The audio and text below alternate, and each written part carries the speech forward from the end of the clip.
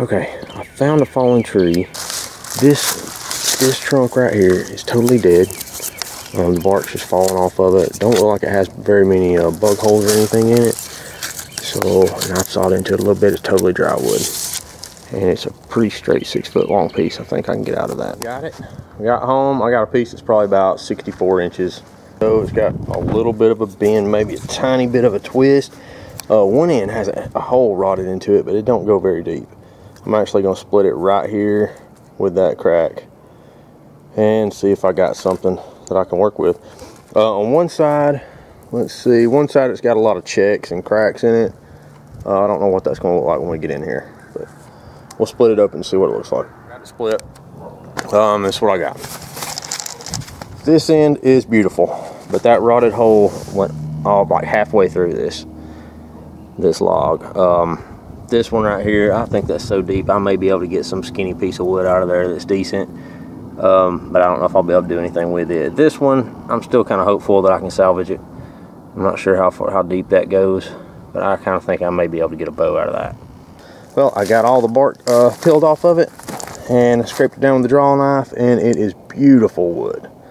Very few imperfections, that's not too bad. It's got some little drying checks in it, um, but they're tiny. Uh, after I go down and chase a ring, I'm gonna get down so much, I don't even think they'll be there anymore.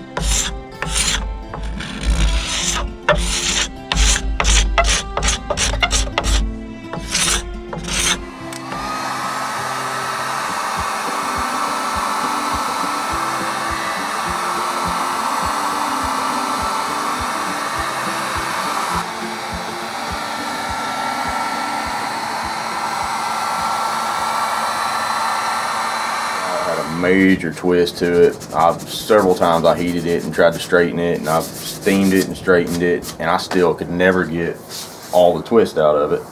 And I thought it was just too much to even work with. Honestly, I didn't. I even I put it up, quit working on it altogether. Um, anyway, uh, the other day I decided to go ahead and get it out and just see if I could, you know, just see what it would do. I knew it was going to be crooked, but I thought, hey, it might might be okay. So it turns out, hey, it, it's doing great. It don't look that good. I didn't put much effort into the handle or anything, but um, it's really strong. I'm gonna, you see, it still got pretty bad curve to it. Um, but I kind of think it's beneficial. I've shot a few arrows out of it, and honestly, I think the arrow clears the bow much better because of that twist. Uh, I hadn't really decided which way I want to orient. Uh, this is going to be the upper limb, this is going to be the lower limb. Uh, I think it shoots better like that. Uh, the other way, it seems to shoot fine, but the arrow whips. Like I think it's got to go around around this uh, riser too much. However, this way, it's almost like it's, it's, pointed dead on. I think I shoot a really heavy spined arrow. And uh, it's a really strong bow. In fact, we're going to go put it on the scale and see what it pulls. Uh, here it is, strung up tiller it as even as I can given all the curves and weird places on it. Um, I think it's pretty good. Uh, sometimes it looks like there's a little bit of a hinge right here, but it's just because this knot makes it look that way, I'm pretty sure. I mean, I, I've done, I've put my little tillering gizmo on here, I've measured all the way down, and it's pretty even as of right now. So um, I might do a little more to it, but I'm going to shoot it a lot before I do anything to it and kind of give it a chance to settle in. Um, it's kind of plain. I mean, nothing special about it. It's actually not bad, I don't guess.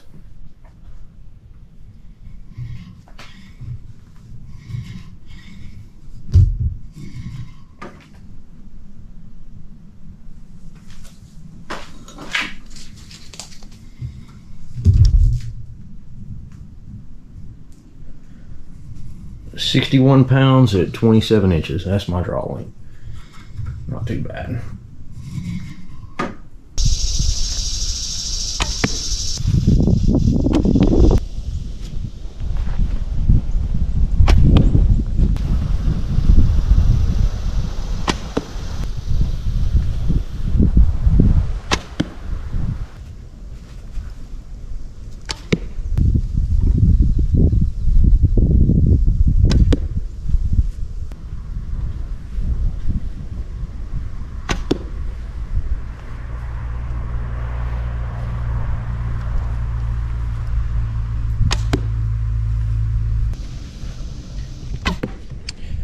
All right, it's finished. Uh, it's pulling 61 pounds at 27 inches.